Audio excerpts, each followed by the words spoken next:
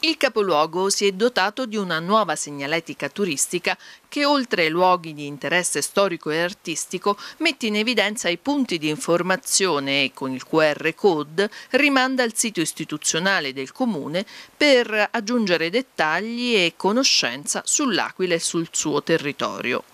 Un'iniziativa che dà il senso di una città che sta recuperando la sua normalità. Io l'ho sempre detto, non possiamo aspettare di aver ricostruito l'ultima casa, riaccesa l'ultima luce per non preoccuparci del nostro arredo urbano e per dare l'idea che questa città non è più in emergenza ma riconquista pezzi di territorio e lo fa attraverso anche la valorizzazione che ciò di più bello ha, che è il suo patrimonio artistico, architettonico, culturale.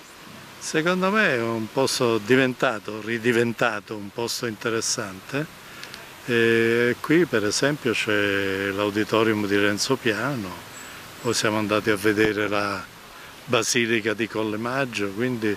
e poi soprattutto la curiosità era questa nuova succursale del Maxi che andiamo a visitare nel pomeriggio. Insomma.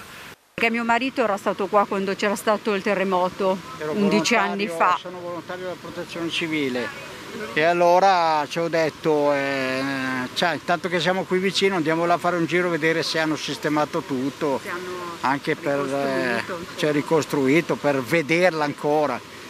Sui 150 cartelli installati in ogni snodo della città, tre di essi presentavano alcuni errori. Il dato non è sfuggito al dibattito politico e l'onorevole Pezzopane, deputato del PD, ha sottolineato prontamente l'errore. L'amministrazione dunque in mattinata ha fatto rimuovere i cartelli non corretti per farli sostituire e il sindaco risponde alla polemica.